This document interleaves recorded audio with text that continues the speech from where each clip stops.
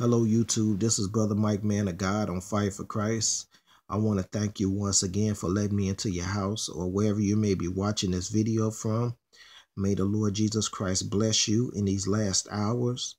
Um, I am a pre-tribber. I believe that Jesus Christ is coming any day, any minute, any second. And um, he's coming to take us from this great tribulation that's about to happen and that's according to First Thessalonians 4, verse 16, and according to Revelation 3:10. God has not appointed us to wrath. He's going to snatch us from that great day that's going to try the whole world. And um, thanks to all the people that's watching this video on Google. If you have not subscribed to me, please do. My channel is dedicated to the coming day of Jesus Christ. I believe that he is Lord and there is no other name under heaven by which we must be saved. So I want to welcome you into this family, and um, we all are waiting on Jesus Christ's return.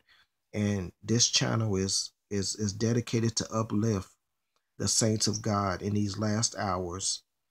And um, I'm, this video is going to show just how deep the heart of God goes. Now, we will never understand until we get to heaven. Just how deep God, His love goes so deep, you know.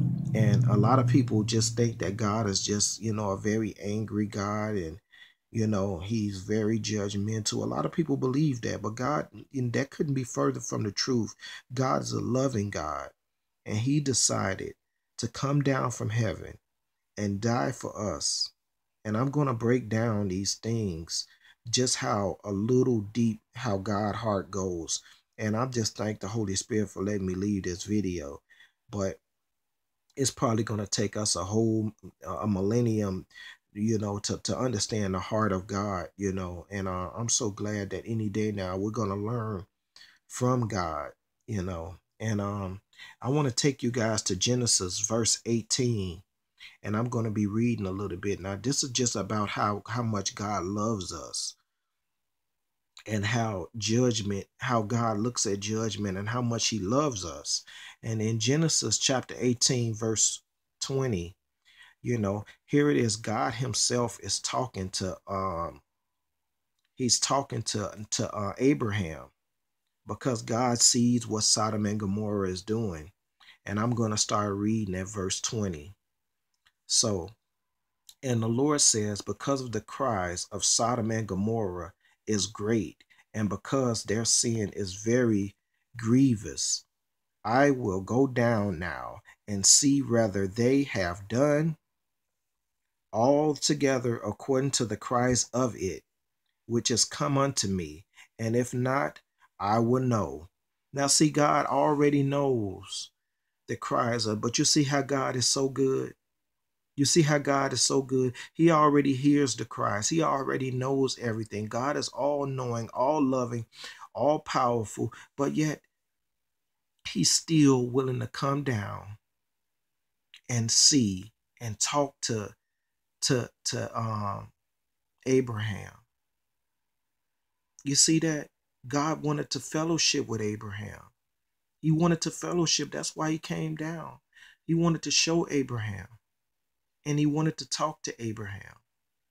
God is not this God that just stays up high and looks down low and doesn't care about us. But God came down from heaven and he observed it right there, you know, creator to creation, God the Father, the Son, and the Holy Spirit to to to Abraham is talking to him. And they're right there, one to another, creator to creation. And then it goes on to say that Abraham, you know, Abraham was interceding because God seen the seen the um the destruction that they was doing. You know, idol worshiping. You know, men was having relationship with men and women with women, and it was just all kind of stuff going on.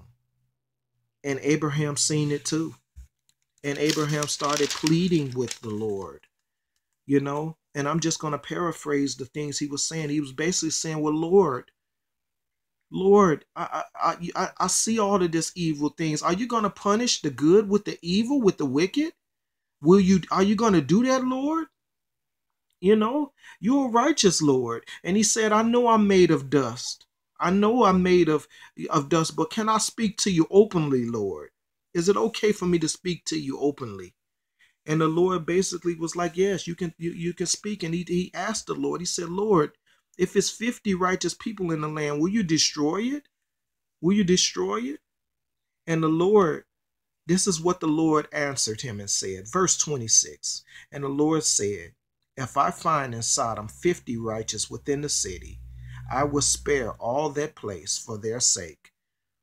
Now, let's just imagine it was a million people in Sodom and Gomorrah. Let's just, we just imagine it because we don't know. Now, you mean to tell me that God was willing to spare 999,950 people for the sake of 50 people. And then it goes on to say, you know, Abraham keeps going down and going down. The number keeps going down. And the Lord keeps saying, I will not, I will not, I will not destroy it. I will not. And it goes all the way down to 10 people. 10 people.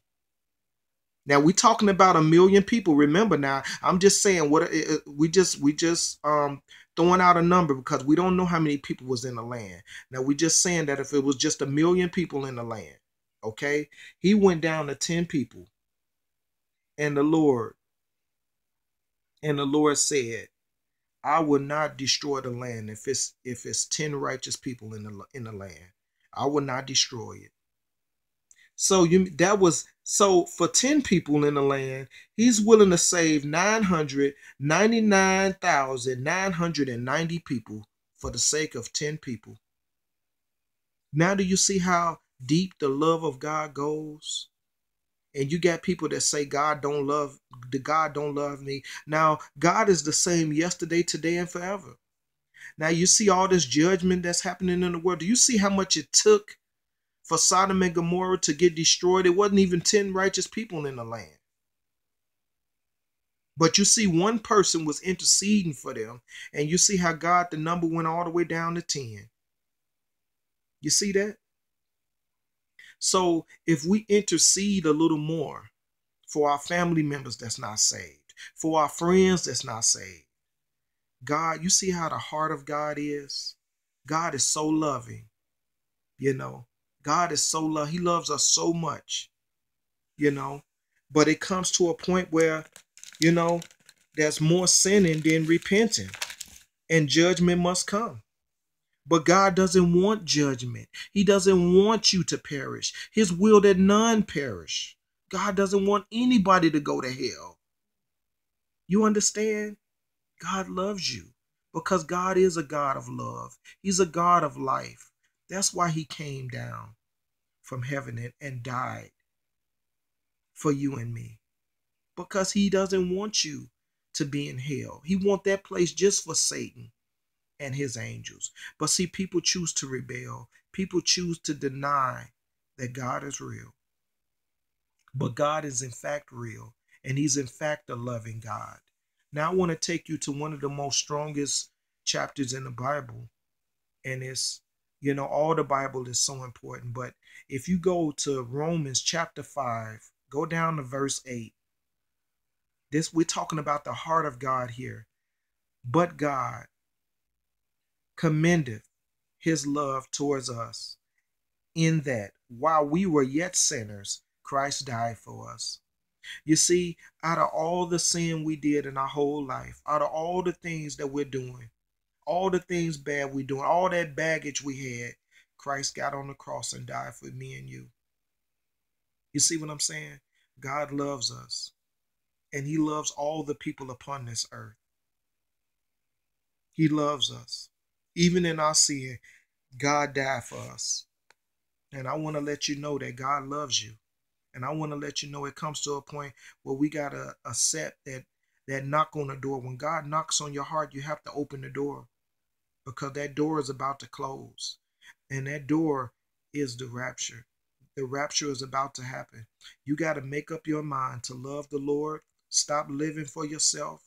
It's not about fun. It's not about taking selfies and all of this, you know, things that's that's just so it's so wicked. The world is so wicked now. Instagram and all of this stuff it's all about pride. People want to think that they're prettier than somebody else. People want satan wants you to believe you're better than somebody else.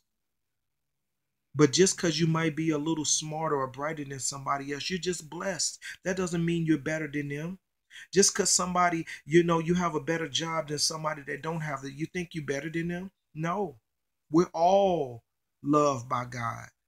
We cannot overlook people. We cannot talk about people just because you're blessed. You can lose your job tomorrow while you think you're better than somebody. We're all the same, whether you're black, white, Chinese, European, African, Jamaican. God loves us all the same. We're all God's children. Do not let Satan continue to divide us. Intercede like Abraham interceded intercede. Pray to God for your families and friends that's not saved. God hears your prayers. Look what what what God was willing to do for Sodom and Gomorrah. You see that? God loves us. He loves us and he doesn't want to give us judgment. Look at how long the bill has passed since this gay law Look how long, look how long it's been, and we see we haven't seen really the wrath of God. You see, He's long suffering. He's not like us. He doesn't want to give us wrath. But it comes to a point where we stop praying, where we stop getting down on our knees, we stop repenting, you know, and we're not interceding. And then wrath is gonna come. You see what I'm saying? So this video is getting long. I just wanted to show you guys a little bit of the of the heart of God. And he's not what a lot of people think. He is a loving God. And we're going to know that love any day now. We're going to be in the clouds. And I love you guys. This has been Brother Mike, man of God. If you have any dreams or visions, or if you have any prayer requests, I will leave my email address and number at the bottom of this message. God is love, and He showed it on the cross, y'all. Get ready. Get ready because Jesus is coming.